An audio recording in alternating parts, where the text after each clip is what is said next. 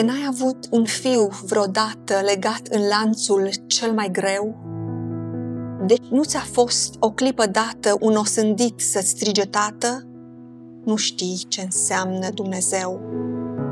De n-ai avut un fiu în viață crescut în veșnic jubileu? De n-a fost dat să-ți moară în față, să simți că inima ți îngheață? Nu poți pricepe ce sunt eu. De n-ai avut în besne afunde un fiu zdrobit ca fiul meu? Tu nu poți, omule, pătrunde ca să înțelegi ce foc ascunde cuvântul acesta, Dumnezeu. Dar dacă o drasla mea cea dragă s-a dat sub ochii mei pe altar, o, cât aș vrea ca lumea întreagă în fața crucii să înțeleagă că eu sunt dragoste și har. Dacă până astăzi sufletul nu va fost sensibilizat de frumusețea cuvintelor lui Costache Ioanid, nu este prea târziu să-l descoperiți acum. Însă nu mi-aș face datoria dacă nu v-aș preveni spunându-vă că până și aceste vorbe măiestre sunt doar niște reflectări palide ale iubirii Tatălui Dumnezeu pentru om. Vă invit să descoperim împreună cu pastorul Valentin Dănăiață pe Dumnezeul nostru care încă ne cheamă lăcrimând. Vei asculta chemarea? Vei veni tu, suflet nehotarnic, cât încă El îți poate fi mântuitor?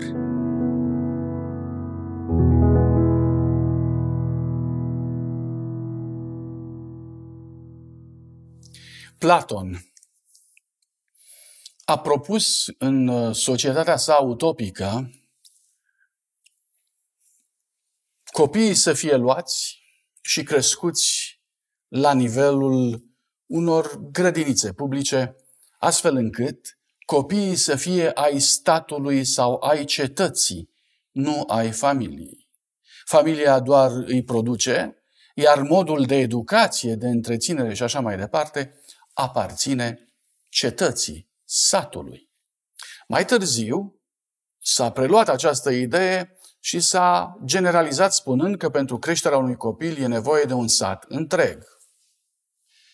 Nu pot să combat foarte mult ideea, dar aș vrea să vă întreb un lucru și anume, de ce o fi nevoie de tată și de mamă? Dar deocamdată acum întreb, ce are tatăl unic, în plus, în așa fel încât o grădiniță, un sat, un oraș, o țară nu poate să ofere. De ce rolul tatălui este atât de important încât nu poate să fie înlocuit de nimic? Evident, educația, din punct de vedere științific, poate să fie mai uh, înaltă la nivel de școală la nivel de societate, la nivel de cetate. De asemenea, autoritatea. Un copil poate să învețe mai bine să asculte la nivel de armată decât a făcut-o la el acasă. Ehm, școala, societatea, cetatea poate să ofere o cantină mai bună decât ceea ce ai mâncat o acasă. Societatea poate să ofere mai mulți bani decât ai avut când ai trăit acasă. Aparent, tatăl poate să fie înlocuit. Cu toate acestea, ce înseamnă să fii tată? Sau mamă, dar încă o dată, azi tată. Astfel încât nimeni să nu poată până la urmă să suplinească acest rol unic de tată. Bine ați venit în Loma Linda. Studioul nostru de aici vă este la dispoziție pentru aproape o oră. Vă mulțumim pentru atenție, vă mulțumim pentru prezență. Vreau să vă spun că ne sunteți dragi la gândul că sunteți acolo sau că sunteți aici.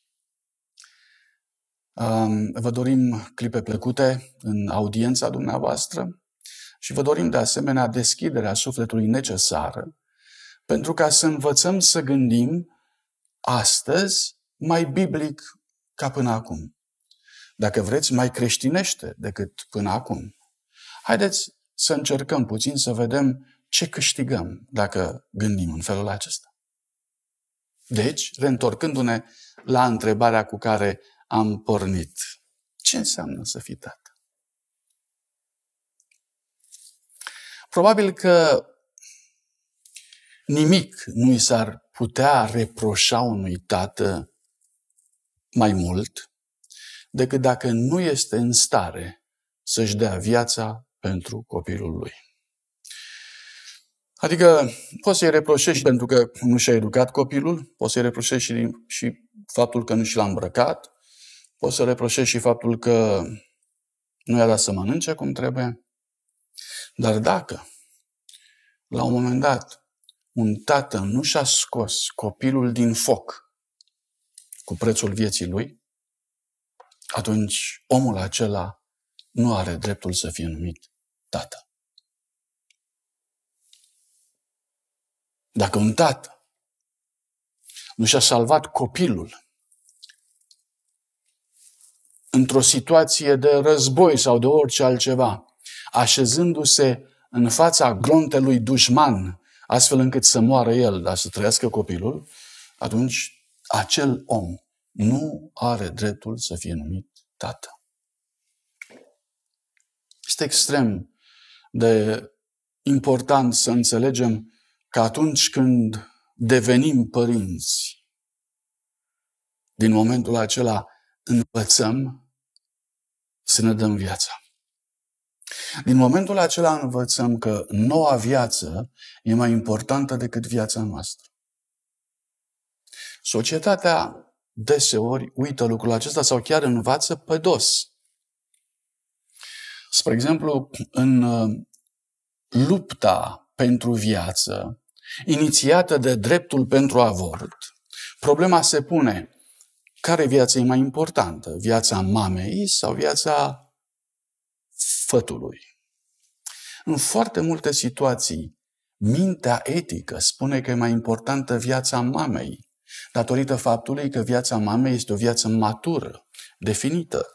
Copilul are mai mult sau mai puțin un viitor potențial în față, nu un viitor actual. Și atunci, mintea inteligentă a secolului 20 spun, salvați mama. N situații însă, în N situații, mamele s-au ridicat și au procedat exact invers acestei teorii. Ele și-au dat viața pentru ceea ce ele au învățat să iubească din momentul în care copilul le aparținea.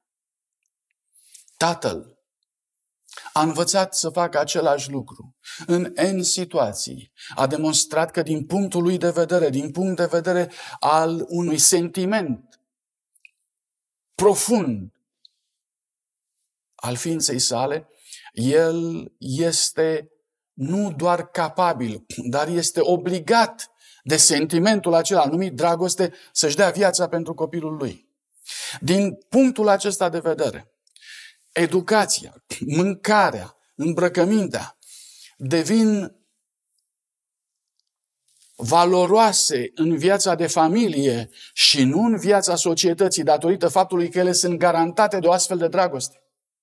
Deci o astfel de dragoste își va îmbrăca copilul într-un confort emoțional, chiar cu lucruri cârpite. Dar datorită iubirii, lucrurile acelea vor avea mai mare valoare decât lucrurile impecabile dintr-un magazin care nu sunt garantate de o dragoste de tip patern sau matern, dragostea tatălui sau dragostea mamei. Mâncarea nu va avea niciodată același gust. Chiar dacă acasă copilul va mânca fasole, va mânca cartofi sau va mânca aproape nimic. Dar gustul acela în care tatăl își împarte mâncarea cu copilul lui și îi dă copilului partea mai mare și el ia partea mai mică. Momentul acela este unic și cuprinde în sine ceva mai important decât mâncarea doar.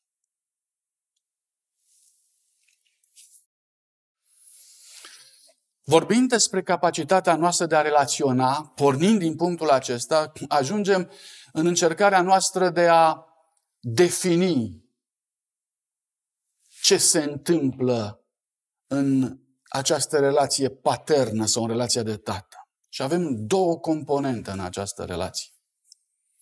Dragostea ca stabilitate. Adică un tată nu se schimbă în ceea ce privește dragostea. Asta este lege. Și când dragostea se manifestă ca lege, legea asigură neschimbabilitatea. Uneori, noi nu înțelegem lucrul ăsta foarte bine, dar este extrem de important ca eu să citesc în Sfânta Scriptură următorul lucru. Eu sunt Dumnezeu și eu nu mă schimb. De aceea, spune mai departe textul, voi n-ați fost nimiciți. Deci, Dumnezeu devine garanția existenței mele datorită faptului că El este imutabil sau de neschimbat. El nu se răzgândește. Din punct de vedere al acestei iubiri, El este garanția existenței mele. Și această, acest aspect al iubirii are caracterul de lege. În Isaia 51 cu versetul 4 citesc, ia aminte spre mine, dar poporul meu, pleacă urechea spre mine, neamul meu, din nou, neamul meu, suntem neam de Dumnezeu. Căci din mine va ieși legea și voi pune legea mea lumina popoarelor. Când dragostea devine neschimbabilă, ea ia caracterul de lege. Apoi, dragostea se manifestă ca libertate. Dragostea nu are doar caracterul acesta de lege. Dragostea este creativă.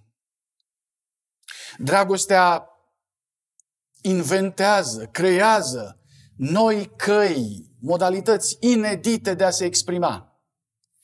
Dragostea ca libertate completează dragostea ca stabilitate sau ca lege. Dragostea n-ar fi niciodată completă dacă s-ar, uh, dacă s-ar stabiliza sau și-a forma anumite limite și ar rămâne doar în limitele respective. Dragostea are nevoie de acea libertate care îi dă frumusețe și care se numește har. Se numește har. Haideți să mergem puțin mai departe. Din punct de vedere al legii, Dumnezeu are o aversiune fundamentală față de păcat.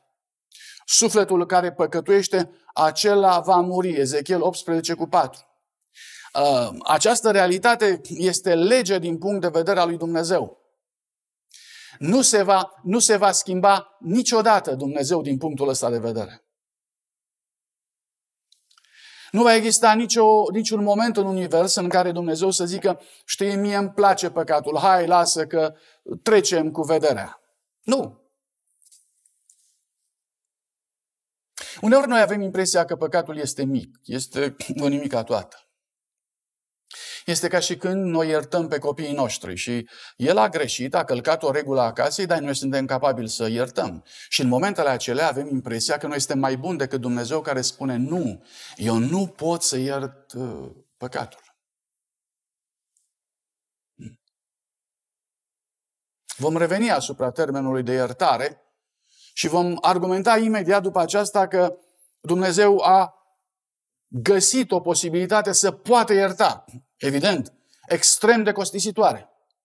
Dar Dumnezeu niciodată nu iartă așa cum iertăm noi pe copiii noștri, astfel încât uh, noi ne luăm vorba înapoi ca să putem ierta. Adică, i-am spus copilului, nu face treaba asta că o să te pedepsesc.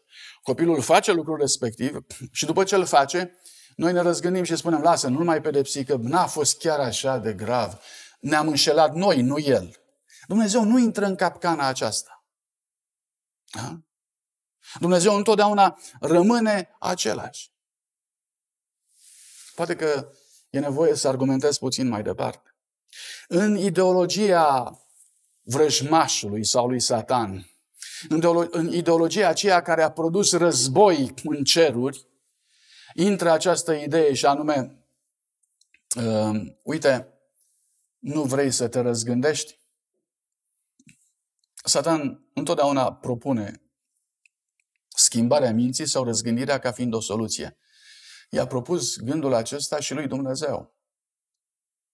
Uh, el a dorit tare mult ca Dumnezeu să se schimbe. De fapt, tot ceea ce a făcut în univers, conflictul acela și războiul acela, a fost încercarea disperată a arhanghelului Lucifer, că așa s-a numit el la început, să-l schimbe pe Dumnezeu.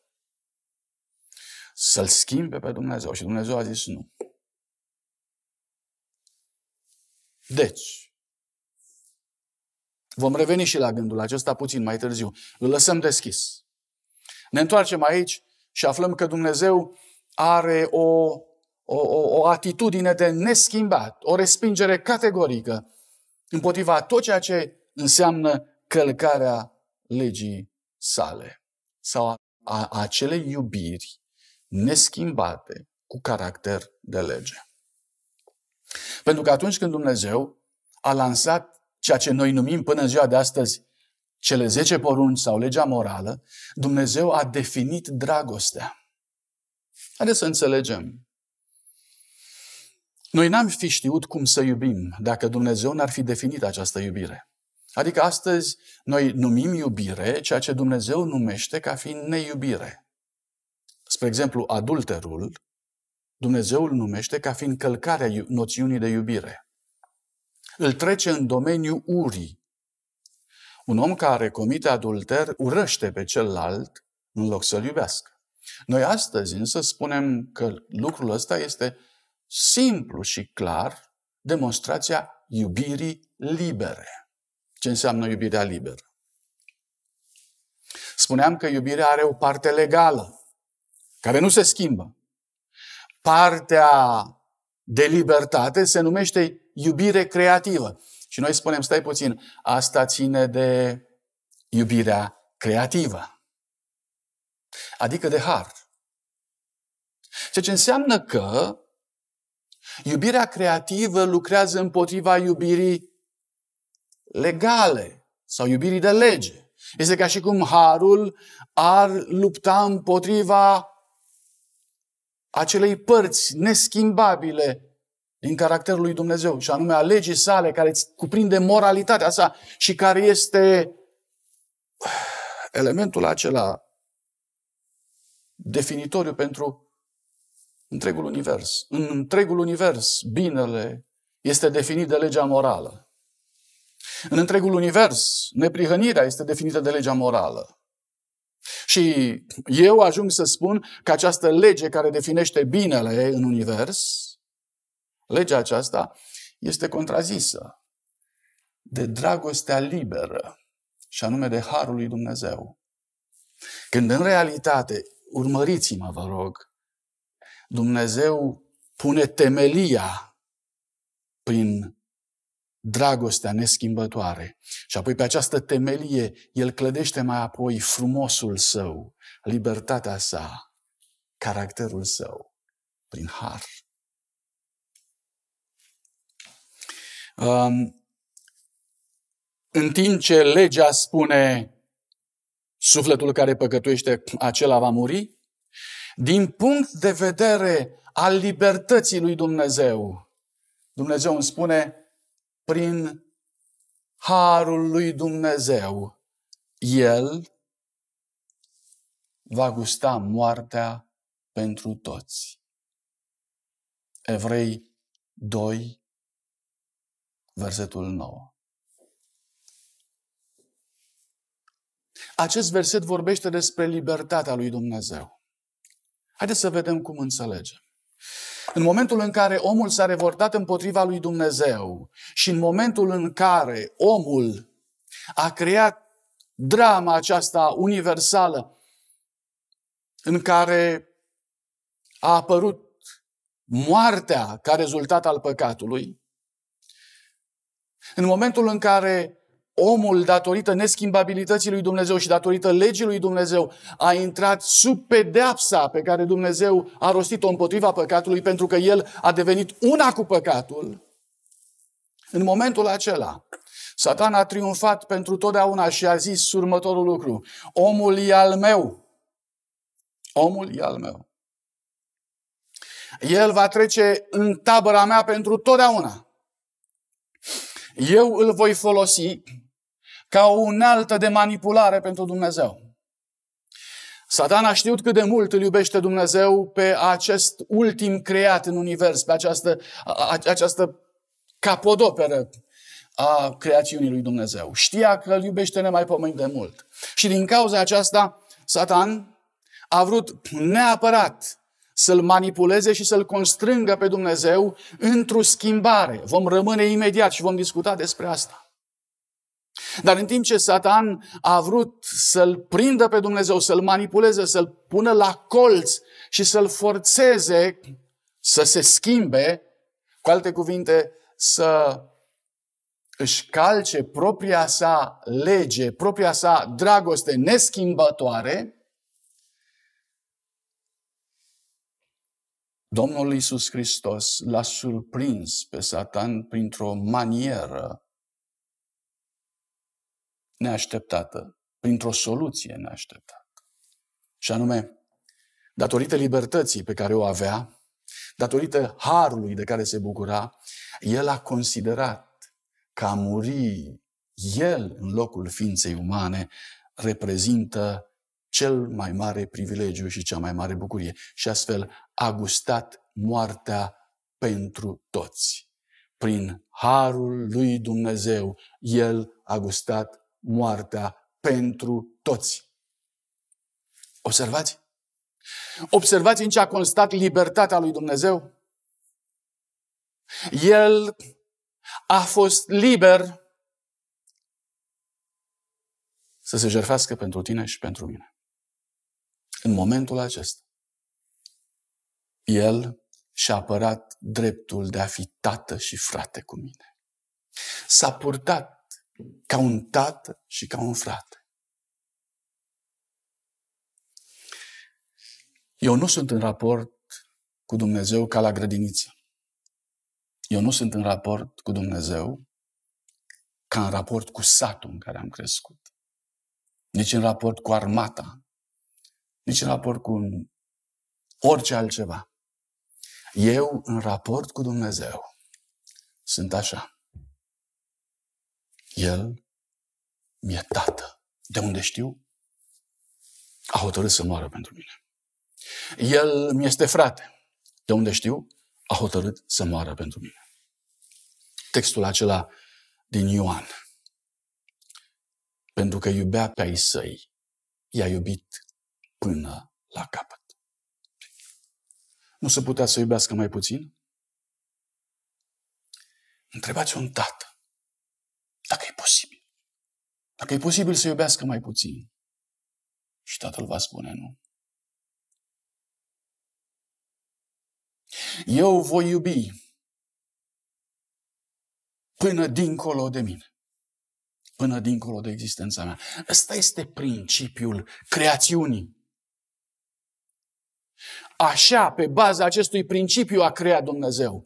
Dumnezeu nu putea crea pe baza unui alt principiu. Dumnezeu n-a putut să creeze pe baza principiului, știi ce? Uh, dacă ascultă, voi merge până la jumătate. Dacă trec de partea cealaltă, nu mai pot să fac nimic. Pentru că mă conserv pe mine. Ar trebui să mă sacrific pe mine. Și atunci, decât să mă sacrific pe mine, mai bine să se ducă ei. Nu. Nu-i tată dacă faci așa. Și atunci Dumnezeu și-a însușit această calitate de tată și a zis, nu, eu îi voi iubi până la capăt și capătul e dincolo de mine. A gustat moartea pentru noi toți. Există și excepții. Bătălia. Bătălia pentru iubire și bătălia pentru sacrificiu este teribil de grea. n-am fi putut înțelege niciodată cum ne iubește Dumnezeu, cât ne iubește Dumnezeu. Mai ales că mintea noastră a fost răscolită și răsturnată în gândirea ei de către condițiile în care trăim astăzi. Uh, profetul Isaia pune întrebarea aceasta, ați văzut vreodată? Poate vreo mamă să își uite copilul? Răspunsul normal și firesc ar fi trebuit să fie nu. Dar pentru că la noi, pe pământul acesta, mamele, părinții, tații își uită copiii, Dumnezeu trebuie să continue și să spună și chiar dacă se va întâmpla lucrul acesta, eu nu te voi uita niciodată.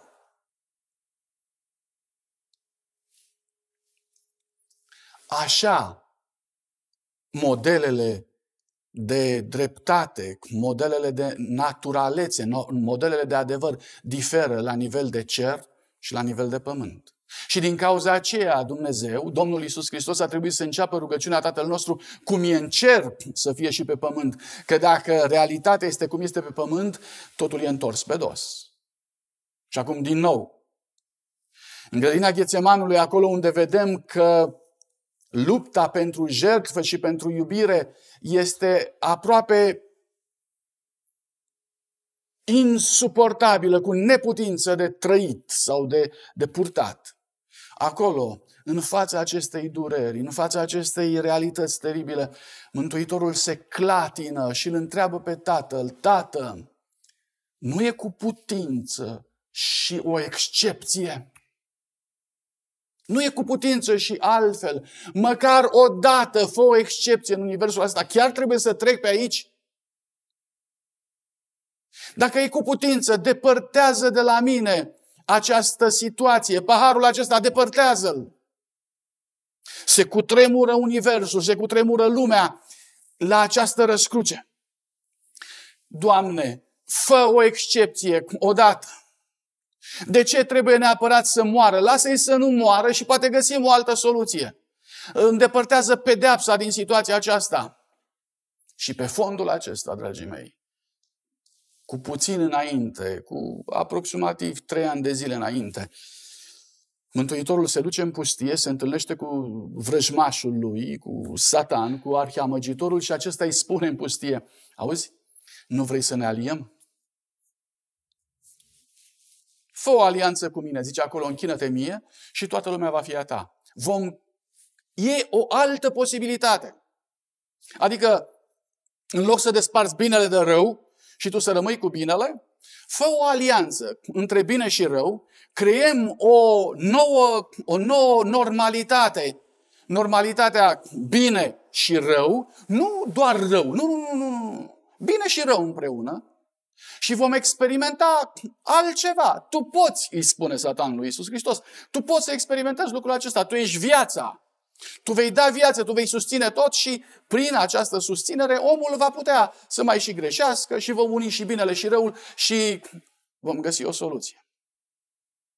Și la vremea respectivă, Mântuitorul i-a zis înapoi a mea, satana. În momentul acela, Mântuitorul a zis, nu discut cu tine. În momentul acela, Mântuitorul a reiterat ideea de lege este lege din punct de vedere al lui Dumnezeu să nu stea de vorbă cu răul, să nu stea de vorbă cu compromisul. El este binele, căci unul singur este binele, și anume Dumnezeu. În agonia sa, Mântuitorul mai vine odată și ajunge și el aici și spune, Tată, nu mai ai vreo altă soluție? Și în final spune totuși, nu cum voiesc eu, ci cum voiești tu. Și la nivelul judecății divine, Mântuitorul trebuie să meargă mai departe. Excepții. Satan cere excepții ilegale. Cu alte cuvinte, excepții care să facă excepție de la normalitatea și de, de la dragostea aceea stabilă pentru totdeauna lui Dumnezeu. Eu sunt același, nu mă schimb. Este dragostea fundamentală cu caracter de lege. Și aici, um, manipularea. Am vorbit despre faptul că el, Satan, este maestru al manipulării. El a vrut să-l facă pe Dumnezeu să își calce propria sa ființă, propriul său de a fi, măcar o dată. Și dacă ar fi făcut lucrul acesta, Satan ar fi fost la un pas să spună, dacă l-a iertat pe om, așa, atunci iartă-mă și pe mine.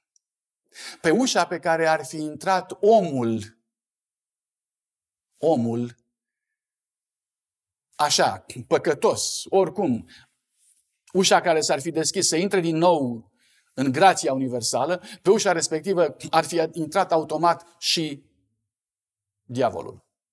Dacă îl ierți pe el, trebuie să mă ierți și pe mine. Dacă nu îl ierți pe el, sau dacă nu mă ierți pe mine, atunci nu trebuie să-l ierți nici pe el. Lucrurile erau foarte sigure. În asta consta manipularea acestei minți geniale, dar rele. Iov. La un moment dat Dumnezeu face o afirmație extraordinară despre un om și spune, l-ați văzut pe robul meu Iov, nu este nimeni ca el. Iar el, regele manipulării, vine și spune, el? Păi normal. De ce? Uite, în Iov 1 cu 10. Nu l-ai ocrotit tu pe el.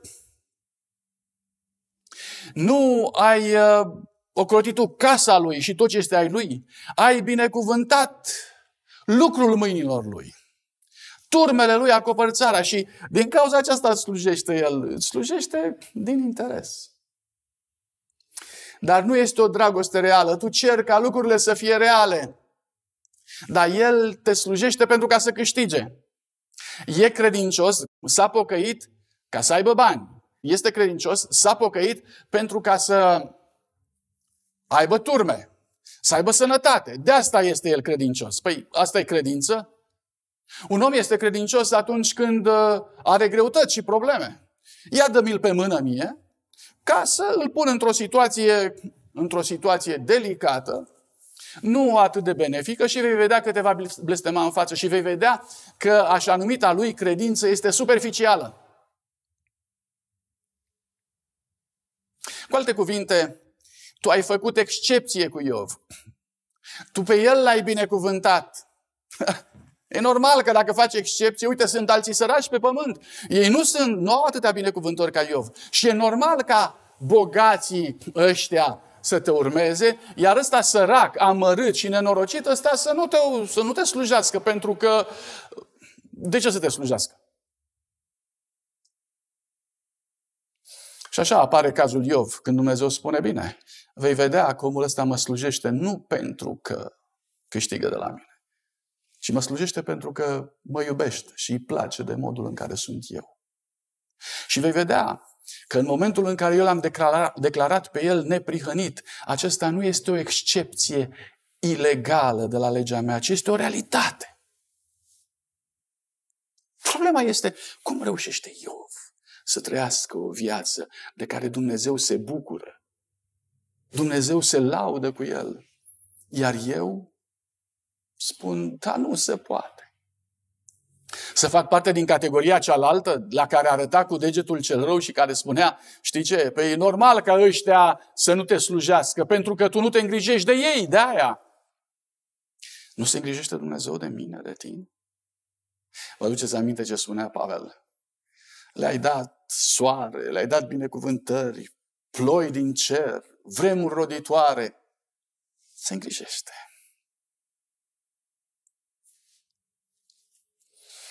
Dumnezeu nu poate să facă excepții ilegale.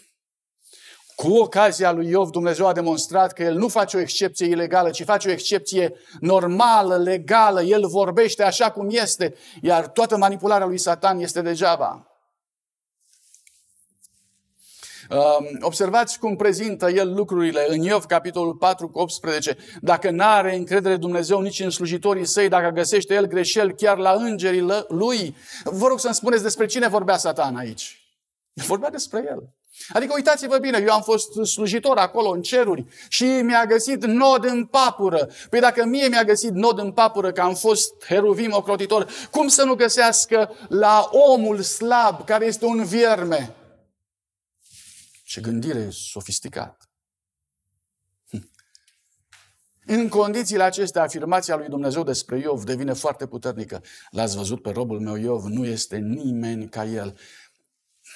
Afirmația lui Dumnezeu pune la tăcere acest joc rațional pe care îl declanșează Lucifer. Și Dumnezeu spune, uite în cine am eu încredere. Creează o, deoseb- o despărțire fundamentală între valorile lumii acesteia. Rămâne încă la despărțirea între bine și rău. Rămâne încă la despărțirea între neprihănire și păcat. Rămâne încă acolo. Dumnezeu nu se contrazice pe sine, cum uneori vrem noi. Știți, vorbeam zilele trecute, în întâlnirile noastre trecute, despre, despre acel, acel sistem în care în henoteism există un Dumnezeu mai mare și Dumnezeu mai mici. Și noi, oamenii, întotdeauna ne alegem Dumnezeii mai mici, ăștia pentru că cu ei ne descurcăm mai ușor. Ei nu au atâtea cerințe. Și oamenii preferă henoteismul. De asta ne-am luat uneori și sfinții noștri, ne-au luat avatarele noastre, ne-au luat modelele noastre. Eu sunt cu Dumnezeii mai mici. Idolatria așa s-a născut, dragii mei. De asta Dumnezeu este atât de mult împotriva idolilor, acestor Dumnezei mici care sunt în viața noastră. Dumnezeii aceștia mici se așează pe lângă Dumnezeul mare. Îi facem cumva mijlocitor și zicem așa, eu slujesc acum la ăsta micu și cumva el mă va ajuta să ajung și la, și la cel mare. Dar nu e așa. Nu e așa. Dumnezeu numește asta nu pluralism, cum o numim noi, o numește idolatrie. Și a pus-o sub interdicția poruncii sale morale și spune, este imoral să gândiți așa, este imoral să faceți așa, este împotriva mea, împotriva naturii mele, sunt un singur Dumnezeu, raportează-te doar la mine în orice situație, în orice situație. Dumnezeu, să știți, că nu este Dumnezeul care să ne caute nod în papură. Să știți că Dumnezeu nu este acela care găsește greșeli chiar și la îngerii săi, la toată lumea. Nu. Dumnezeu este acela care uh, știe să întreptățească. Dumnezeu este acela care caută normalitatea altfel. Haideți să vedem cum o caută Dumnezeu. Excepții legale. Sunt excepții ilegale, cea ca cele pe care le-a sugerat Lucifer sau Satan înainte, dar sunt și excepții legale. Excepțiile ilegale sunt acele excepții în care Satan cere, Doamne, fă excepții în legătură cu păcatul cu tare, în legătură cu păcatul celălalt, în legătură cu situația asta, că n-am avut încotro, fă și tu o excepție. Și Dumnezeu ne demonstrează clar că la El nu merg lucrurile așa. El niciodată nu se contrazice pe sine și niciodată nu se schimbă. Care sunt excepțiile legale? Există excepții. Dacă ai greșit, dacă ai păcătuit, nu va veni Dumnezeu la tine să te bată, să te trăznească, să te bage în pământ și să stai capul. Nu! El nu vrea ca să te ia să te ducă în iad, să te ardă o veșnicie și așa mai departe. Nu vrea lucrul ăsta. În 2 Samuel, capitolul 14, 6 la 7, există o întâmplare.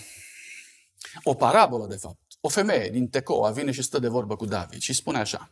Deci lucrul este, este o povestire, o poveste care nu s-a întâmplat în realitate, dar care trebuia să reprezinte baza morală a modului în care gândește Dumnezeu. Ea spune, am avut doi fii și la un moment dat unul, din greșeală, l-a ucis pe celălalt. Mi-a mai rămas un fiu. Numai că fiul ăsta, datorită situației, este ucigașul fratelui său. Și atunci toate celelalte rude au venit să ucidă pe ucigașul fratelui său, adică să facă dreptate. Și ea spune, datorită dreptății eu mă voi vedea lipsită de amândoi copii. Și ea spune, dreptatea asta nu e dreaptă. Wow!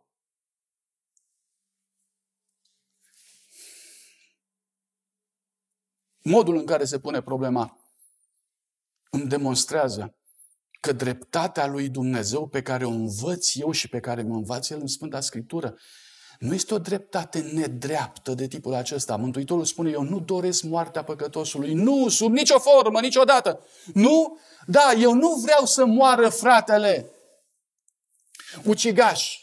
Eu vreau să-l salvez, dacă se poate. Vreau ca orice viață să fie salvată. Și atunci Dumnezeu vorbește despre Goel, dreptul de răscumpărare. Ce înseamnă dreptul de răscumpărare? Simplu. Tot la nivel de parabolă, tot la nivel de tipologie, el spune, dacă fratele tău sărăcește și vinde o bucată din moșia lui, Cel ce are dreptul de răscumpărare este ruda lui cea mai de aproape. Ea să vină și să răscumpere ce a vândut fratele său. Mântuitorul nu iartă cum iert eu și cu tine. Adică a făcut copilul o boacănă și zic, aulă, lasă-l în pace că e și el mic. Nu face așa Dumnezeu. Însă Dumnezeu a instituit răscumpărarea. Dreptul de răscumpărare. Ce înseamnă dreptul de răscumpărare? Cineva are dreptul să vină și să plătească pentru pagubele făcute de ucigași. Să fie foarte limpede. Noi am greșit. Noi am făcut dezastru în universul acesta. Noi am greșit nu în primul rând împotriva fratelui meu, împotriva tovarășului meu de viață. Nu. Eu am greșit în primul rând împotriva lui Dumnezeu. Primul care a pătimit din cauza problemelor pe care le-am, le-am generat eu a fost Isus Hristos. El care a murit sau a fost junghiat de la întemeierea lumii. Prima victimă pe care o are păcatul meu este Isus Hristos. Lovește în Dumnezeu direct, clar. Și atunci Dumnezeu spune, pentru că eu sunt afectat în primul rând, eu trebuie să rezolv problema. Și El lansează dreptul acesta de răscumpărare, răscumpărarea fratelui sau a rudei cele mai apropiate. Cine este fratele meu? Și de aici începe marea poveste a mântuirii mele, când Isus Hristos se face frate cu mine. De ce se face frate cu mine? Ca să mă poată răscumpăra. El s-a făcut frate cu mine în creațiune și în răscumpărare a devenit răscumpărătorul meu. El este fratele meu de multă vreme. El este fratele meu de la creațiune. Știți că am purtat același nume? Adam s-a numit Fiul lui Dumnezeu. Iisus Hristos se numește și El Fiul lui Dumnezeu. Eram frați. De ce am fost frați? De la început. Pentru ca să mă poată răscumpăra. În conformitate cu dreptul acesta. Când eu n-am mai fost fiu de Dumnezeu datorită revoltei mele, și am devenit fiu al omului. Citiți, vă rog, cartea Genezei în care omul devine din fiul al lui Dumnezeu fiul omului. Când am devenit fiu al omului, el, care a fost frate cu mine ca fiu al lui Dumnezeu, a venit și s-a făcut fiu al omului devenind frate cu mine și în situația aceasta, el mă urmărește ca un frate credincios, coboară unde sunt eu ca să mă ridice. Datorită faptului că el este frate, datorită acestui lucru, el poate, poate să mă răscumpere. Nimeni altul care nu este frate și care nu este rudă cu mine nu, vă, nu mă va putea răscumpăra. Este de asemenea foarte interesant că prin înfierea pe care a produs-o Domnul Isus Hristos, prin faptul că El a devenit frate cu mine, datorită acestui lucru, Tatăl este Tatăl meu.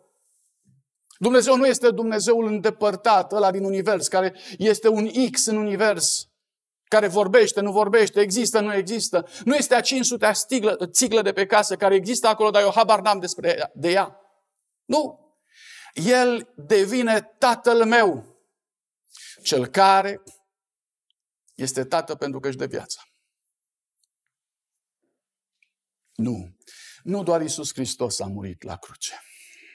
Dacă nu ne este clar lucrul acesta, urmăriți-l pe Avram pas cu pas, cum urcă pe muntele Moria, când este chemat să-și aducă jertfă pe fiul său. Și vedeți ce se întâmplă acolo, când tatăl ridică cuțitul spre pieptul fiului și spuneți-mi cine moare întâi. Spuneți-mi dacă un tată adevărat poate să supraviețuiască unei asemenea scene. Și când tatăl a murit, abia după aceea a urmat jertfa.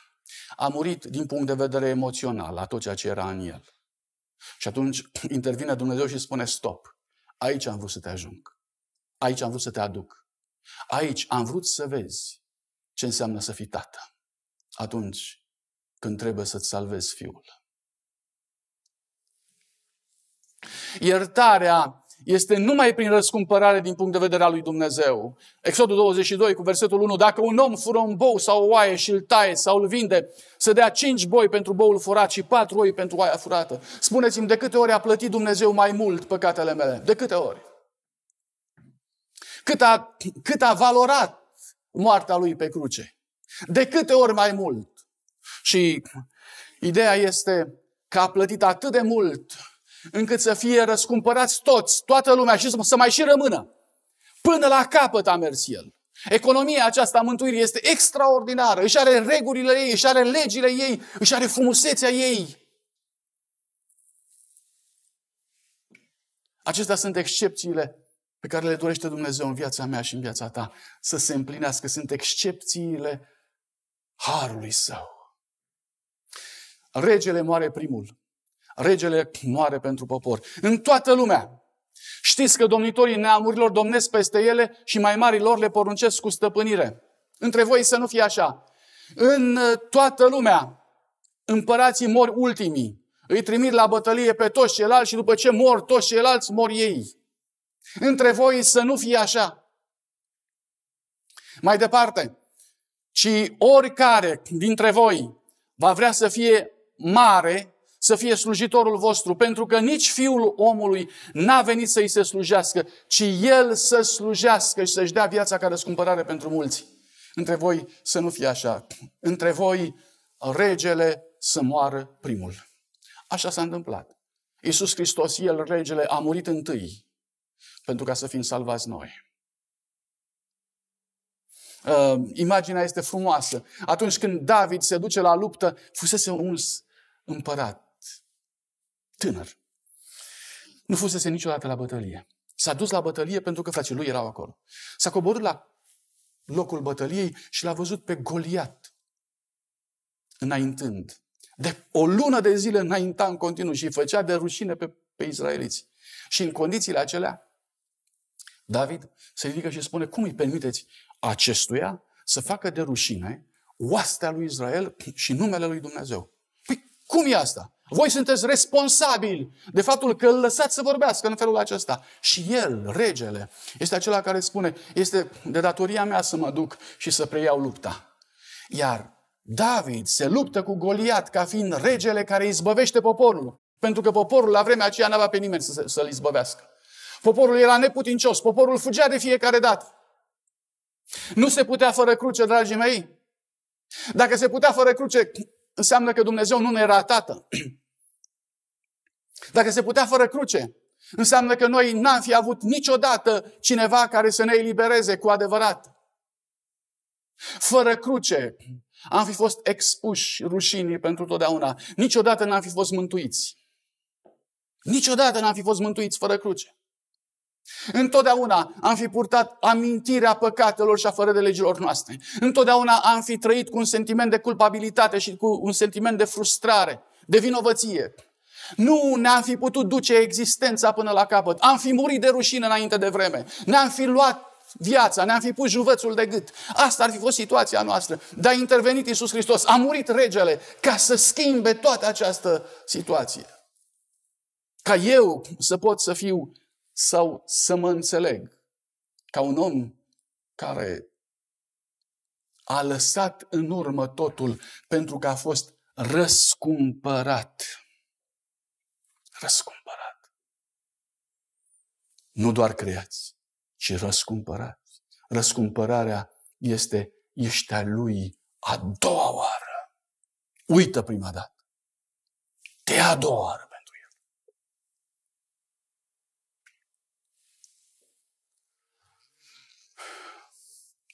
Isaia 53.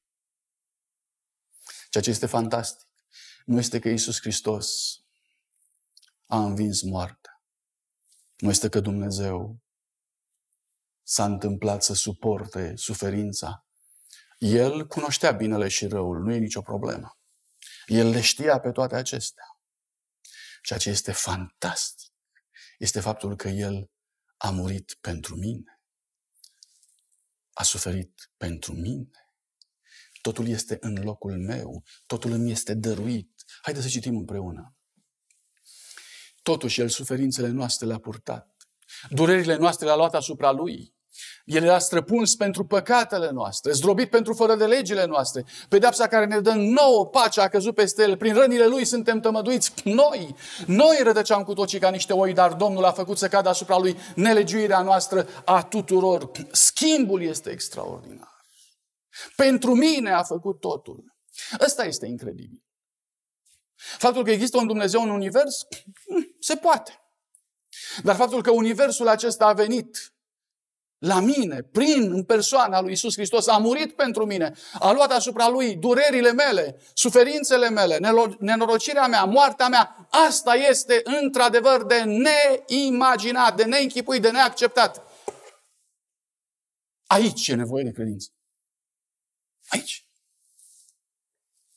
E mai presus decât ceea ce știm noi, am făcut noi. De asta Iisus Hristos spune, iubiți-vă unii pe alții cum v-am iubit eu. Poate că e ceva de învățat. Și cu bunăvoința dumneavoastră voi încheia cu un ultim, cu un ultim apel din Scriptură, acel verset care mi-aduce aminte de noblesse oblige. Noblețea obligă. Dacă voiește cineva să vină după mine, să se lepede de sine, să-și ia crucea în fiecare zi și să mă urmeze. Dragii mei, dacă El a murit pentru mine, de ce e așa de greu să-mi iau și eu crucea în fiecare zi? N-ar trebui ca noblețea Lui să mă oblige? N-ar trebui să înțeleg că dacă la El nu s-a putut fără cruce, nici la mine nu se poate fără cruce. Poate că ți este greu în viață, poate că ai probleme, poate că sunt o mulțime de lucruri care te țin în loc. Dar de fiecare dată când te uiți la El, noblesse oblige. De fiecare dată. Te rog frumos, acum, la despărțire. N-ai dorit să te uiți în direcția asta. N-ai dorit să gândești așa. Ține asta în minte. Privește la el și vei vedea celelalte lucruri ca fiind fără valoare, nesemnificative. Îl vei vedea pe el plin de importanță. Îl vei vedea pe el unic. Îl vei vedea pe el salvator, răscumpărător. Îl vei vedea pe el ca fiind alter ego-ul tău, sau altfel spus, un al doilea eu al tău, pe care să-l iubești, să-l dorești, să-l aduci în viața ta.